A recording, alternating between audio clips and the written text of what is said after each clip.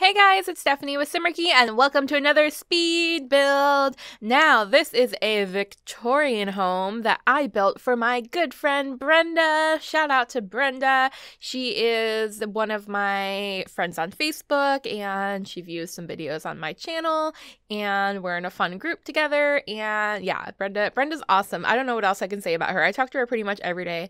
So, huge shout out to Brenda. Uh, she asked me to build this house for her, and of course, I'm very flattered and honored that she would want me to build a house for her Sims family. And this one is it's a speed build. Yes, normally I do house tours for homes that I built for someone else. However, I don't know. This one was a little bit more an interesting of a build than the stuff that I normally do, and it has a foundation and a Victorian column.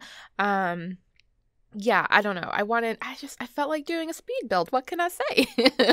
so here I am just kind of laying the foundation. And the main feature I wanted of this home was this octagonal tower, which I've been doing a lot of lately. But I mean, where else is it more appropriate than in a Victorian home? I mean, that that's probably like the best place that you could put one of those octagonal, octagonal, large columns. so yeah, there there it is. And now I also wanted a cute wraparound porch. So obviously I added that. Now okay, Victorian homes are I don't know. I don't know all the features of them. I do kind of think of little doll houses though, and mm, yeah, like these little bay windows. There's certain things that I definitely associate with them. Now, I know they obviously can range from large to small, and I sort of wanted this to be a small one, but as I started building and adding rooms and things that Brenda requested, which wasn't much. Like, honestly, she did not ask for much. She just gave me a few guidelines to go off of. She said her favorite colors were red and purple. She wanted a room for her pets and uh, a media room. I think that's all she really asked for. She kind of asked for a basement, but I didn't I didn't put one, but I did put a cool attic, so I, I, thought maybe that was good enough. Um, but what I was saying is it ended up being a little bit bigger than I planned, but that's fine. That's totally fine. And I did also add like these little diagonal um, corners to the foundation, especially around the deck, and that's really easy to do because there's actually a whole separate uh, tool for making diagonal shapes for foundations and decks and stuff. So yeah, that wasn't that wasn't too hard. I did later on you'll see I do try to add try to add a basement that was oh that proved too difficult because I had already built the shell of the house and figured out where the stairs were going and then it was too hard to try to squeeze the basement in after that. But this first floor has plenty plenty of good stuff and this is that grand staircase that goes to the second floor. I guess I could have probably left it six wide, but I don't know. I thought it would be cute to add a little hallway and a little storage room back here, so I just just put a little a little trunk, a little prop trunk thingy to make it look like storage. Honestly, I didn't do much with that room. It's just kind of kind of a little little hidden room feature. It's not really hidden. That made no sense. Anyways, on to the backyard. oh, she did ask for a hot tub and possibly a pool, but since since the house ended up being bigger bigger than I hoped, uh, the backyard got smaller and smaller. But that's that's all right. There's a hot tub. At least that's something. Personally, a hot tub is all I need. I mean, pools are nice and all, but that's a lot of maintenance. a lot of maintenance. But it's The Sims, so who really cares? Um, oh, I forgot to do the ceilings, and I'm trying so hard to remember ceilings. So instead of trying to go room by room, I just deleted a wall in each of the rooms so that I can place it to cover an entire room at once. So those ceiling tiles will will be throughout the house and not just annoying me going room by room trying to figure it out. I think I got them all. I don't think I missed anything. I don't know. You could usually tell in my screenshots when I messed something up, but that one's all right. I think. and I used a different roof than I normally use on the tower. I don't know. I thought that one was cute by just making it really long and extended. I thought it looked more like a proper Victorian roof or a proper octa- octagonal shaped i don't know i don't know i don't know. It's a thing guys i did a thing. And i really wanted the the roof to come out over the porch and i could never figure out a good way to do that so i just started deleting walls and using columns and walls and things to make it work. I don't know. I'm me trying to explain something is difficult because I don't have a technique. I just move things around and click on things until until it looks good, until I figure it out. And people do compliment me on my building a lot, which I really really appreciate, but honestly, I don't think I'm that good. I think I'm I think I'm good. I just don't think I'm amazing. I don't think anything that I do is really um uh what am I trying to think of? Innovative? I don't know. I don't know. but I just I practice a lot and that's that's how I learn how to build. That's the best way to learn how to do anything. But speaking of that, I am going to introduce a house house a tutorial house. I'm looking at a house, that's why I said house.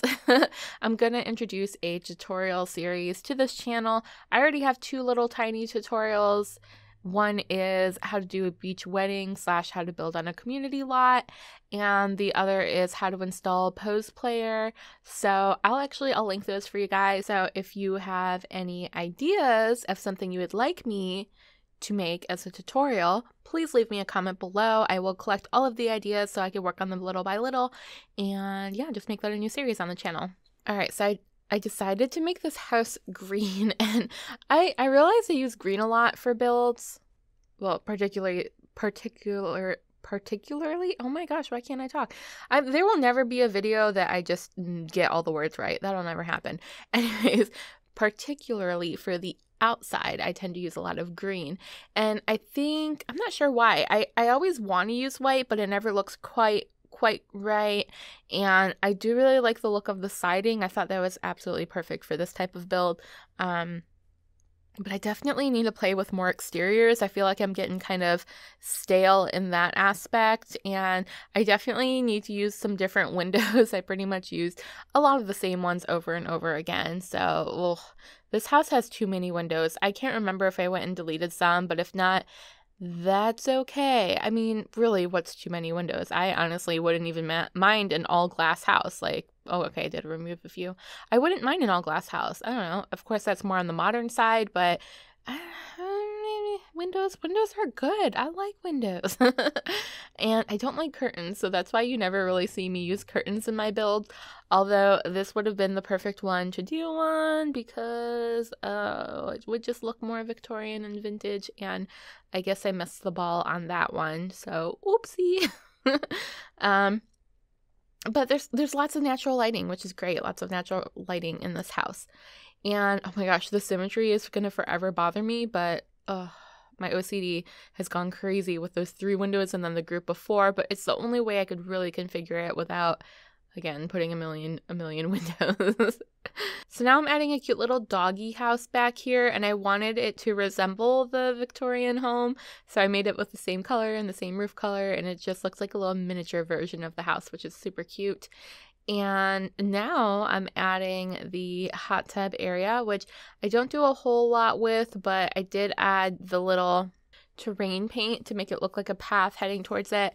And then I wanted this fence to look like it had open doors because that little one square narrow pathway was too narrow. So i just kind of put them at an angle there to make it look like the gate was open. I hope i hope you saw that because it went really fast. There you go. That's a much better look at that.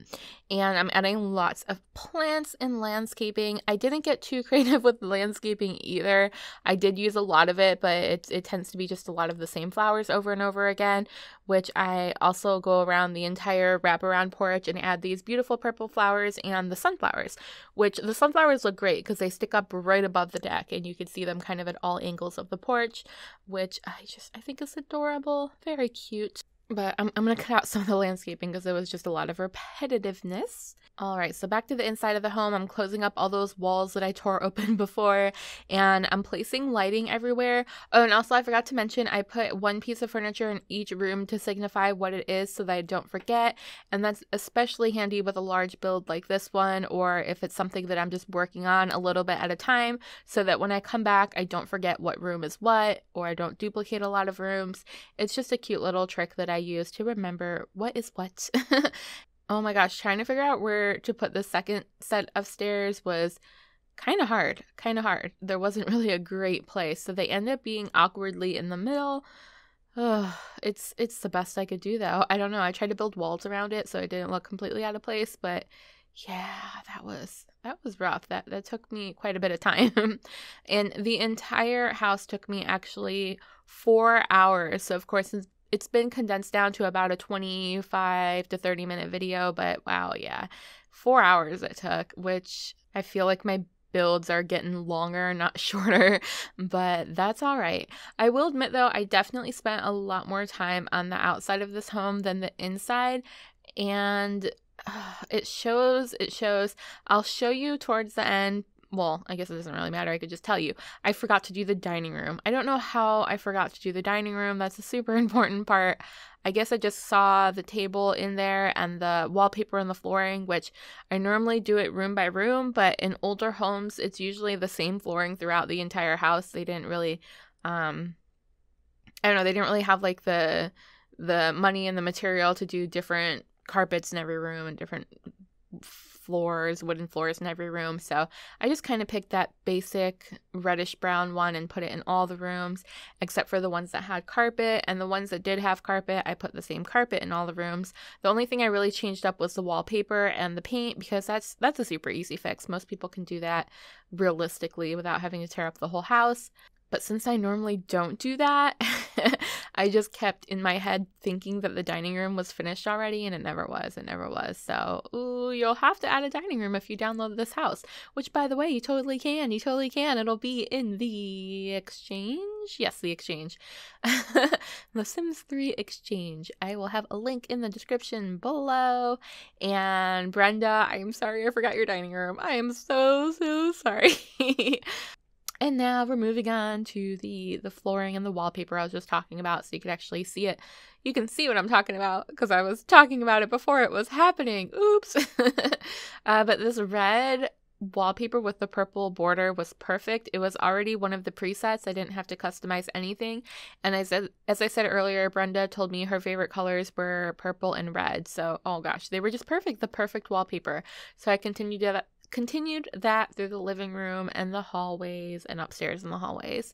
And of course, can't forget the outside lighting. I think most of my houses, when I first started building, I would completely forget that.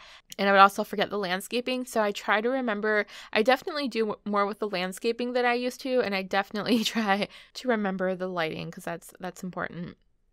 It's nothing's worse than it becoming nighttime and your sim can't see anything outside. So Oh, oh, more sunflowers! Yay! so lights and sunflowers. That's that's what I've got to talk about. Um, bushes, lights, sunflowers, bushes, and a trash can, and a mailbox. The necessities. Moving back to the inside of the house here, I'm just probably gonna start. Yeah, see, that wallpaper is so cute in the dining room. I can't forgot. It. I can't believe I forgot it. I forgot it. Ah, that's okay. You could just add some chairs. It's really not that hard here I am placing the wallpaper throughout the rest of the house and I, I kept it very very light pastel muted colors. I didn't I didn't think that like a bright color would be appropriate in a house like this unless it was really tied into the decor, but I wanted to keep it very traditional. And this is the upstairs. Oh man, that moved super fast. Never mind. This is the first floor again. the first floor. And I use those lights from buydebug, which the fixtures disappear in live mode, and all you see is the lighting from it, which is awesome. But I do include a lamp or a ceiling light in every single room so that you could still control them in live mode. Now on to some of the furnishing. I think, yeah, I think it's furnishing for the rest of the video now. The, the building is pretty much done. The doors are done. The wallpaper's done. So this living room is plenty big. It is a nice little size. I thought it was going to be too small, but it turned out to be perfect. So we have those two beautiful couches and now I'm playing with the coffee tables trying to create a larger one since there is such a large gap in between the two the two uh, couches. I wanted the coffee table to be pretty substantial to fill up that extra gap. So I put four little ones together. And I think it came out pretty nicely. I also added another little dresser over here just some for some extra storage and decoration. Now there's not a TV in this living room. In fact, I don't even know if there's a TV in the entire house. Hmm. Hmm. the things you forget when you look back. Oh, what am I talking about? You don't need a TV in the living room. We have a gigantic movie theater upstairs. one giant TV. Oh, and I think there's one in the nursery. So, yeah, yay. I guess I didn't forget. And I really tried to put a fireplace in here, but since I didn't include it in the floor plan like when i was building it i didn't account for it there just wasn't any wall that it made sense on otherwise the chimney would have went up through the other floors and spilled onto the porch and i don't know it just it didn't fit i would have loved to have fireplaces but in retrospect what can you do uh, i didn't want to rebuild that roof that roof was so tough now moving on to the kitchen. The kitchen's probably maybe the brightest and sunniest room in this whole house. I definitely kept more beiges and that minty green color, uh, sort of yellowy, but not quite. And we have this cute little breakfast table. You know, that's probably another reason I forgot to do the dining room because I already made an eat-in area in the kitchen. So I didn't forget a place for your Sims to eat. I just totally forgot the formal dining room Well, what can I say? Things happen. so on the counter here, just adding a few little appliances. We have the microwave and the coffee maker thingy, drink maker. Um, and now onto the pets rooms. Since I didn't know specifically what pets she wanted, it, I don't know. I I lost my creativity a little bit here too. I have to admit this isn't my best build. I'm really sorry. Uh, but the the pet rooms have beds and toys and pet dishes. So even though the walls are kind of blank and boring, it's functional. And Brenda, you can add some of your own touches in this house for sure since I didn't didn't fill up every single tiny usable space as I normally do. I figured with the Victorian home, it can go either way, you know? It can go either way. But, you know, like I said, clutter and decoration weren't really my main concern in this build. For me, it was the structure of the home. So, again, that's why I made it a speed build, and that's why I maybe didn't pay as much attention to the detail on the inside as I should have. I was just really focused on building that exterior, which I'm really proud of. I really like it. I hope I hope you guys like it too. and oh, this is like I guess a, a, guest bedroom. She only asked for two bedrooms, so I made a guest bedroom, a master bedroom, and a nursery. I think that's all. So this is here on the main floor. Just just perfect for guests or maybe maybe even a teenager or a young adult sim, or maybe if the parents live with or the grandparents live with the parents, that'd be a great room for them. I don't know, it's just it's a bonus room. and speaking of bonus room, this is the attic and this is the cute game room. So we have a chess table, the art easel, a drafting table, and I think maybe a little bookcase I also put in here. I can't remember. Oh, the, the little science thingy. I don't know how I forgot already. I literally just built this like the day before I recorded the voiceover. I don't know. I have a bad memory. It gets worse as I get older.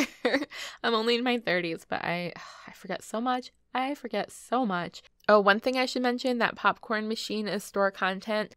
I believe it's the only store content item I used in this build. Oh, never mind. The little nectar thingy, little nectar bottle with the wine glasses are also store content. Um, but other than that, I don't think I used any. So a couple tiny, tiny little things will disappear if you don't own those items, but yeah, it it doesn't affect anything at all. so now I'm adding plenty of seating. Oh, she did. Brenda did tell me that she wanted a place to entertain guests. So obviously that movie theater is a great place to do that. But I also wanted to include some seating so they have more of a conversational place to just sit down and relax and read and chat and have drinks and eat good food. So I included this this nice seating area. Oh, and there's another TV there too. See, oh my gosh, I did not forget the TVs. There's like three of them now. what was I thinking when I said there weren't any? See, that goes back to my memory issue. I just forget everything. or maybe I just play too much Sims. Do you think that's my problem? Too much Sims? I forget what I build because I build so much. Uh, that's probably more more of, of why. That's probably the real answer here. but on to the nursery. I just made a big cute nursery. I also use the word cute a lot. I need to come up with some more adjectives. So I will try that. I will try that, I promise. But it has these minty, light bluish, greenish walls, which are bright but muted at the same time. That doesn't make any sense. I don't know. It's eh, it's a nice color. It's one of my favorite colors. I tend to use it a lot. And now I'm adding a couple more bathrooms. This home has plenty of bathrooms. I think it might even have more bathrooms than it does bedrooms, but that's okay because especially especially if it's a house used for entertaining, you're going to want your guests to be comfortable and have a place to use the restroom even if someone else is using it. And if you have any kids or grandkids staying over using that extra bedroom downstairs or even just sleeping on the couches, they'll all have a place to get ready and take a shower and not have to worry about any of that. And now I'm working on the master bathroom, which, uh, which again, I lost. Oh gosh, I lost so much creativity in this build. I feel like with with the decorating, I must have been so exhausted from the building that I just gave up. well, I didn't give up. Let's not say that. It's I still like it. I still like it. But the bathrooms are all the same. The toilets are all the same color. The towels are all the same. the mirrors in the bathroom are all the same. Eh, bathrooms, you can only do so much with a bathroom. That's all I have to say about that. Oh, I'm a liar. There's a second bedroom. There's a second, second bedroom. A second, third. Mm. All right, so there's two guest bedrooms, the parents' room, and the nursery. Yeah. Well, I guess maybe one of them doesn't have to be a guest bedroom. The problem is Brenda didn't tell me exactly what Sims she has. She didn't tell me exactly what Sims are gonna go in this house. She just said she wanted a two bedroom, and she ended up getting what four if you count the nursery. So that's why I'm just not making any sense. I don't know. Usually, usually I have more of a focus, and I'm building specifically for a Sim that's gonna live in there, and yeah, that's. That's why that's why I'm not making any sense. I'm trying. I'm trying. um, but yeah, this is definitely the master bedroom. Right here, I added plenty of bookshelves because there was so much extra space. I didn't really know to, what to do with it. But you can never have too many bookshelves. Never, never, never. You could put books up there and trinkets and just little things on display. Um, what else can you put on a bookshelf? I don't know, movies, CDs, anything really. anything really. So you can never you can never have too many. And this is a cute little oh god, there's that cute word again. This is a sweet little seating area with some wicker chairs and I'm using more more wicker on the inside of builds just because I think they look very um whimsical i guess look at me trying to come up with adjectives i don't know they just they look they look good indoors sometimes too don't want to forget to use the wicker pattern and now I moved on to the hallway. Again, it's a very large, long hallway with that big grand staircase and the second staircase. So I didn't want it to look completely empty. So I'm just adding little portraits and wall art and plants and dressers and a couch. a little couch, which makes no sense to be at the top of the stairs, but what can I say? Oh, I started to run out of money here. I don't know. My sim had a certain amount of money, I guess. I don't remember what I did. She had obviously more than the starter money because I started to run out close to 200 simoleons, which, or 200,000 simoleons, which luckily I stayed right under that amount. And Gosh, we've already moved into the screenshots. Yay, screenshots. so you can see a little bit better what I did. It's not going so fast right now. So here's a better shot of the kitchen with the sunflowers on the table. Um, I only really took a screenshot of one bathroom because like I said, they're all they're all pretty much the same. This is the guest bedroom downstairs, and then this is the second bedroom upstairs, which you can use for the kids or whatever. Uh, there's a closer shot of the grand staircase and the hallway on the second floor. And now we're going into the nursery. There's a little turtle block set, which is just so cute. Cute. Uh, I said it again. Ah.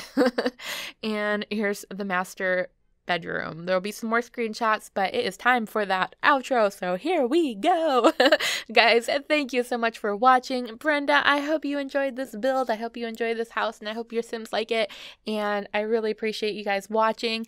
Please, please, please don't forget to subscribe so that you don't miss my next video. I promise they will get a little bit more creative next time with the furnishing.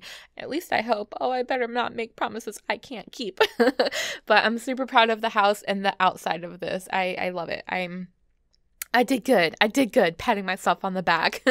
Guys, I hope you have a wonderful, wonderful day, and I will see you next time. Bye. Bye, Brenda.